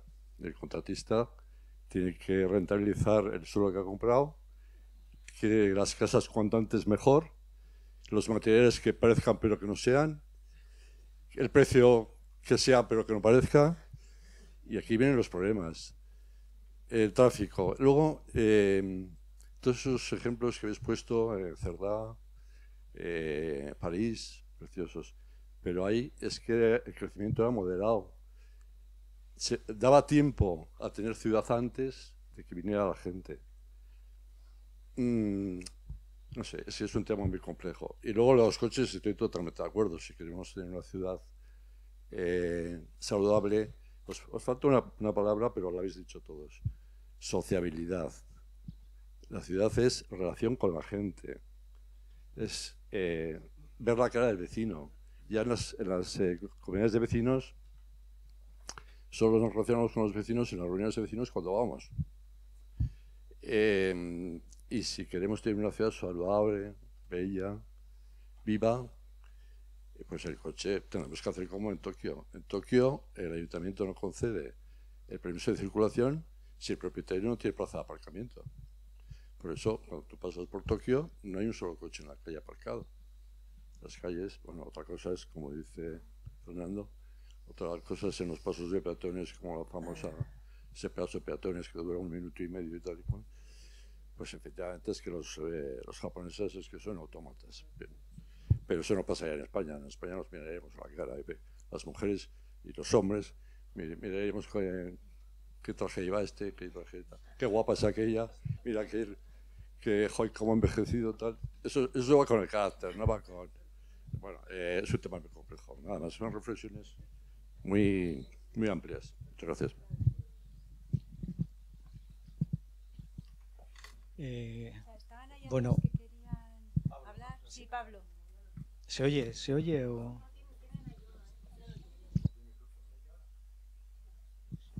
¿Se oye? Vale, vale. Bueno, eh, me gustaría... Enhorabuena por la intervención de los tres y bueno, me gustaría hacer una reflexión antes de hablar de Vitoria. Eh, creo que, en las ciudades los componentes principales que tienen, el, principal componente es el componente humano, evidentemente, pero luego tiene tres componentes, que son las calles, las plazas y la arquitectura. Eh, me voy a quedar en el segundo, que son las plazas. ¿no? El origen de la ciudad es el ágora griega, la plaza romana, las plazas del Renacimiento, Luego llegan las plazas de la Ilustración, con Vitoria, Bilbao, San Sebastián, etc.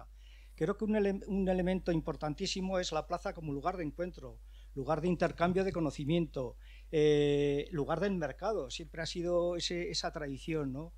Eh, y ahora, ahora voy a Vitoria. Vitoria tiene unas plazas excepcionales, ¿no? Virgen Blanca, la Plaza España, la Plaza Fueros, etc. Y en estos ensanches, en estos desarrollos urbanos de Salburó y Zabalgana, nos hemos olvidado, hemos dejado de dar ese valor al espacio público que es la plaza. ¿no? Entonces creo que en el futuro de nuestra ciudad, aparte de todas las cosas que habéis comentado, eh, hay que virar un poco para hacer, crear estas plazas, estas nuevas plazas donde la gente se encuentre. Eh, es curioso, paseando por la ciudad, que la gente, los inmigrantes que han venido, eh, participan mucho, se reúnen en esas plazas. ¿no? Hay, un, ambiente de ciudad, de ciudadanos. Y creo que tenemos que aportar como componente físico unas nuevas plazas que, que creen esos centros de atracción o de comercio en Salgura y Zabalgana. Sin más.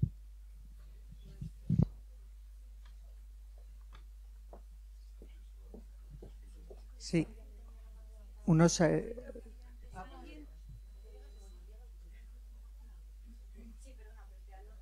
yo quería hablar, bueno, eh, has comentado tú que la ciudad no es para el coche, hay que eliminar el coche. Para mí eso es, bueno, por así decirlo, un buenismo verde, ¿no? Eh, y es lo que ha pasado en Vitoria. ¿no? Eh, Vitoria hoy en día tiene más zonas peatonales, más zonas verdes, más urbanos y nos la hemos cargado porque no tiene gente hemos hecho unos barrios nuevos donde vive todo el mundo, dos generaciones han ido a vivir allí, 50.000 personas, todas con plazas de aparcamiento, todas con grandes superficies, todas con centros comerciales, y hemos levantado una muralla para que esas personas no vengan al centro. En Vitoria, así como en Pamplona, Logroño, Bilbao, San Sebastián, se han creado parkings para albergar toda esa gente, más el turismo que venía. En Vitoria no. En Vitoria parece que construyó un parking era mientras la, la bicha, ¿no? Entonces, eh, lo que hemos construido es una ciudad eh, pues más armoniosa, más verde, pero muerta, ¿no? Entonces, lo que habría que plantearse realmente es, eh, yo creo que hay un error en el pensar que, que, tenemos que atraer a la gente que vive en los barrios nuevos para que acceda con, bueno, en bici o con transporte público, y eso es un error, ¿no? La gente va a utilizar el coche porque lo tiene en la puerta de casa y lo que tenemos que plantearnos es que tenemos que conseguir que esa gente, en vez de ir a los centros comerciales sucesivamente uno tras otro, venga al centro de la ciudad, deje el coche ahí y haga su vida o su día o su media jornada en Vitoria. O sea, en el centro, ¿no? Porque ya a mí, em, la persona que vive en el, en el extrarradio y hace su vida en coche, sale, va a la fábrica, vuelve, eh, pasando por el centro comercial y vuelve a su garaje, me da igual que viva en, un, Salburúa que en Miranda, ¿no? hace ciudad. Y otro tema que eh, yo cuando suelo eh, a los arquitectos siempre insistís en el tema de la peatonalización.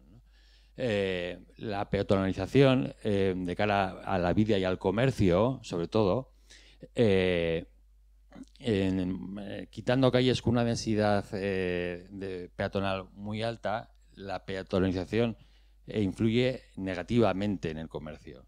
Solo tenemos que ver, por ejemplo, en Zabalgana, en la avenida, la única vía comercial que hay en Zabalgana es la avenida Zabalgana, que tiene seis carriles de tráfico, y en el resto del barrio de Zabalgana, que hay todo tipo de parques, veredas de ríos, plazas, no hay ningún comercio. Entonces hay que deberíamos plantearnos si realmente la, peatonalizar una calle afecta positiva o negativamente al comercio. Bueno, ahí no me puedo aguantar las ganas de contestar. No sé si Fernando quieres contestar. Porque, eh, por supuesto, la peatonalización de un espacio es un éxito, siempre. El problema es cuando eso no viene igual acompañado de otros aspectos, como que no haya bajos comerciales y por lo tanto no pueda darse el comercio en esos espacios. Eh, eh, siempre ha sido un éxito. Eh, podríamos enumerar un montón de, casos en los que efectivamente, como tú bien dices, previa la peatonalización, manifestaciones de los comercios que no quieren y luego han sido los primeros que han visto mejoradas sus ventas. ¿no? Entonces, no, aquí lo que estamos viendo yo creo que en estas tres imágenes precisamente es eh, que se ha malentendido lo de expulsar al coche de la ciudad. Eh, digamos, todo, por eso que hablamos de la complejidad de la ciudad, todo tiene que venir acompañado de más de una acción que toque diferentes aspectos a la vez, si quieres tener éxito en una operación. Si tú quieres sacar un coche del centro, por supuesto tienes que fomentar el por supuesto tienes que fomentar el transporte público, pero sobre todo también tienes que peatonalizar ese espacio para que la gente pueda, pueda vivir ese espacio donde has quitado al coche. Si lo que me haces es convertirme en un espacio predominante para solo el transporte público, estás quitando a la gente y por lo tanto nunca va a ser un éxito. ¿no? Eh, eh, eh, lo mismo, si en esa calle no tienes bajos comerciales ni posibilidad de meter comercio, etcétera, etcétera. ¿no? Yo quería decir otra cosa. el urbanismo tiene muchísimo, muchísimo poder, digamos, en estas situaciones, porque tú pones un bajo comercial, pero si el tejido residencial que has generado tiene los mismos ritmos de funcionamiento, pues hay una peluquería debajo de mi casa, por ejemplo. Yo pretendo que esté abierta el fin de semana, pero el buen señor o es una ONG o cerrará el local, porque eh, o hay alguien que vaya a cortarse el pelo el lunes, el martes, el miércoles, el jueves y el viernes, o yo no me pudiera cortar el pelo el sábado. Entonces eso lo único que, hace que se pueda mantener así es que haya eh, posibilidad de que haya personas que utilicen la peluquería los días de diario a una hora eh, de, comercio. Y eso pues se mantiene con gente que quizás trabaja en ese lugar y busca un rato en la hora de trabajo para irse a cortar el pelo, con alguien que no trabaja, con un jubilado, con un niño que por lo que sea tiene un horario, eh, no, no el de eh, alguien, o sea, una persona que trabaje de 8 de la mañana a 8 de la tarde. Vuelvo a lo que yo he comentado antes en, mi intervención. Si, el tejido residencial permite toda esa vitalidad, a la vez permite que la gente pueda trabajar en ese mismo barrio y que no sea un éxodo de 8 de la mañana voy a la fábrica, 8 de la tarde vuelvo, eh, y pretendo que la peluquería esté abierta, o sea, que no es solo que haya un local comercial, sino que también tenemos que potenciar que el local comercial pueda estar abierto, que simplemente es con actividad, eh, pero eso se ve además beneficiado porque la gente pueda pasar caminando, entiendo, eh, por, el, por el lugar. Es verdad que igual es más cómodo ir en coche, pero que yo creo que la inercia tiene que ser que la peatonalización sea mayor, porque si el tejido permite que eso se pueda producir, es más beneficioso en general. Eh, lo que tenemos que conseguir es que los barrios sean más autónomos en sí mismos eh, de manera que, la actividad se pueda producir en esos barrios. Es que os deberíais plantear, un sábado a las 11 de la mañana me pongo en la Renfe, miro a lo largo de la calle y puedo contar las personas con los dedos de la mano. Me voy a cualquier centro comercial y no encuentro sitio para aparcar. Es que esa es la realidad. Y la calle Ato es la milla de oro. Bueno, ni es milla ni es de oro, pero, es la realidad, ¿no? No atrae nada y un aspecto fundamental es la accesibilidad. Hemos demonizado el coche en el centro y hemos regalado todo tipo de accesibilidad, de parking y de, eh, facilidad y económicamente por eso, gratis eh, para el coche en el, alrededor de la ciudad. Sí, bueno, quería trasladar rapidísimamente cuatro, cuatro ideas brevísimas. La primera, por orden de importancia, me parece que en Vitoria el, gran problema no es ni la calidad del espacio urbano, que en general es, buena, salvo algún pequeño foco quizá, pues el barrio Coronación, etcétera. yo creo que no, puede haber debate sobre la calidad del espacio urbano en general. Me parece eh, eh, casi como pintoresco el tema de los magnolios, ¿no? que a no ser que puedas garantizar un trasplante, no hay manera de quitarlos porque se te van a echar encima todos los, los que no entienden que se que debe que en situaciones excepcionales se pueda se puede llegar a talar a talar un árbol, ¿no? Pero bueno, me parece que es un tema muy, muy, muy secundario. Eh, aplaudo que fueron de este como esté, por supuestísimo, es decir, el crecimiento natural en espacios agardinados de muchísima superficie es, un, es, un, es una estrategia completamente lógica, pero el gran, el, el, gran, el gran problema que tiene Vitoria ahora es la, la movilidad, y sobre todo es el coche. Vitoria, salvo un caso concreto que es el tema de la movilidad al trabajo, que es el, verdadero tema pendiente que tiene que resolver. Eh, no, no, no el ayuntamiento, quizá lo tenga que resolver la, propia la propia empresa, el propio tejido industrial, ¿no? y que el ayuntamiento premie fiscalmente, pero es, un, es una pelota que el ayuntamiento puede dejar en el tejado de la empresa y, y nos olvidamos y que se arreglen ellos. Quitando eso, al coche hay que ponerle con todo el respeto y la educación las máximas zancadillas posibles y que no haya eh, coche más que cuando sea estrictamente necesario. ¿no? Y una medida que a mí me parece muy operativa y fácil de implantar eh, sería, por ejemplo, sin hacer ninguna inversión en infraestructura, garantizar el calmado de tráfico. Y esto es una medida que se puede implantar en poquitos meses. Eh, obligar mediante 50 radares móviles en una campaña agresiva a que el coche circule a 30 y obligar a sí a que el patinete y la bicicleta vaya por el asfalto. ¿Eh? Con esto, gracias, eh, con se solucionan muchísimos problemas, ¿no? Y poco a poco ir poniendo zancadillas al coche, ir quitando aparcamiento público, ir, etcétera, etcétera. Ese me parece el reto. Luego sí que me, gustaría reivindicar, tema aparte, habéis hablado de la arquitectura moderna, el legado de la arquitectura moderna. A mí en parte me gustaría reivindicar el papel que tuvo la arquitectura moderna para, para poner techo en muy en corto plazo de tiempo a millones de personas, una Europa devastada. Ese es el legado con el que ahora tenemos que trabajar, pero no tenemos que demonizar eh, el valor que supuso la arquitectura moderna en ese momento. ¿no? Ah, eh, hablabas, eh, Fernando, de lo pintoresco y asignabas un valor, relacionabas belleza con homogeneidad. Me parece más interesante la palabra pintoresca y la arquitectura contemporánea lo que tiene es el reto de, de asumir ese valor que lo hemos dejado un poquito de lado, a través de la heterogeneidad dentro de la homogeneidad, a través de ese, dibujo ese exonométrico que has puesto tú, que me parece muy sugerente. ¿no? Ah, pero no me parece a mí que, que por, porque una cosa sea totalmente homogénea, sea necesariamente bella. ¿vale? En los ejemplos eh, hausmannianos hay mucha homogeneidad, pero hay muchísima variación. Y eso es lo que le da cierta riqueza. Y termino ahí el truco está el arbolito. Quiero decir, no hay elemento más tonto, más fácil de poner y más barato que aporta eh, pintoresquismo, belleza, etcétera, etcétera, a la ciudad, que es a través de la vertificación. Es un elemento con el que podemos trabajar a partir de ahora en las ciudades. Y perdonar la chapa. Gracias.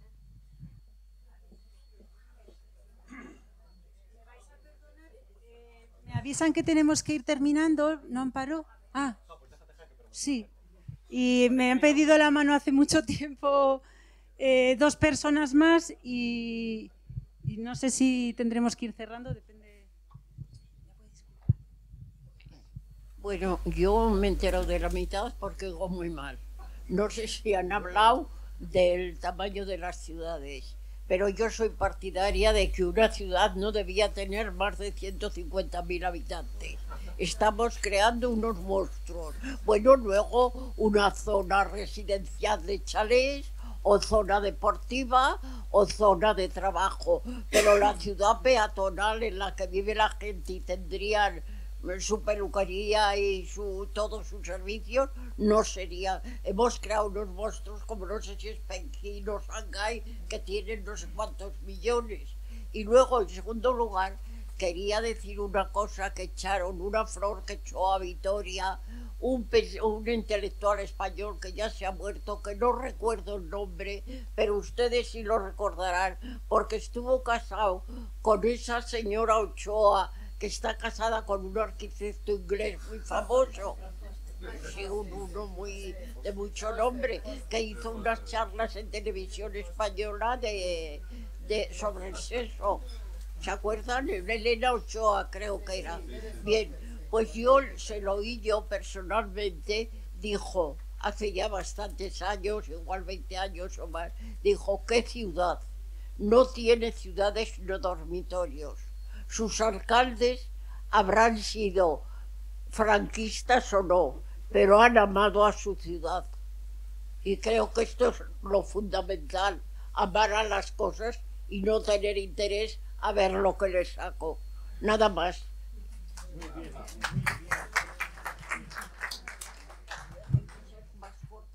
Sí.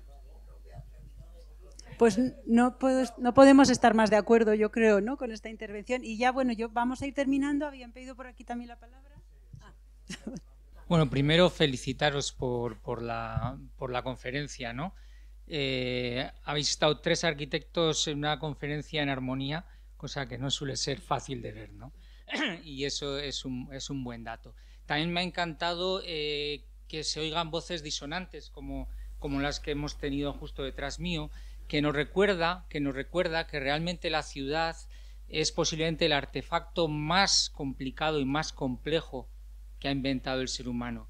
Y precisamente por ser tan complejo y tan complicado, las soluciones preconcebidas o las recetas suelen fallar.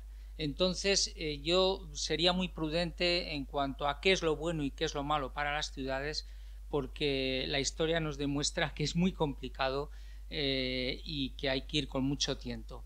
Y yo diría que, que, las ciudades son como las personas, tienen un carácter y son todas diferentes. Entonces, cuando decías que Vitoria está muerta, bueno, es que Vitoria es Vitoria.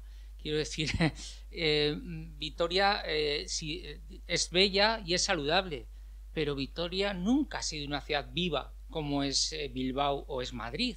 Pero en cambio Madrid no es saludable. Eh, quiero decir, quiero decir, y esto entenderme es exagerando un poco, las ciudades como las personas no son perfectas, es que no son perfectas y, tienen un carácter, ¿no? Y posiblemente por mucho que apliquemos diseño y urbanismo, las ciudades van a mantener una idiosincrasia que han, que han tenido durante, durante décadas. Y sin más, pues felicitar la, la conferencia.